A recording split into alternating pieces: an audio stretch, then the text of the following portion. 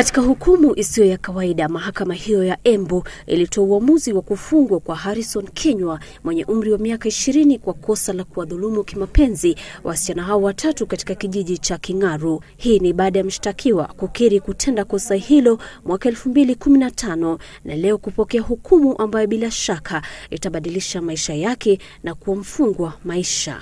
Kulingana na mahakama ni kuwa Kinyua alitenda uovu huo katika hafla ya mazishi ambapo inadaiwa aliwahadaa wasichana hao na kuwanunulia chakula na hatimaye kuwatendea maovu hayo. Wasichana hao waliweza kuwaelezea wazazi wao na uchunguzi kuanzishwa na baadaye hospitali ya Embu Level 5 kuthibitisha kwamba wasichana hao walinyajisiwa.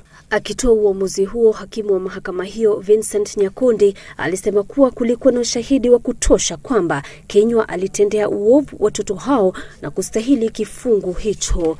Hakimu Nyakundi akisema kwamba kifungo hicho pia ni funzo kwa wale pia wana tabia kama hizo. Nasteha Mohamed, Citizen Nipashe.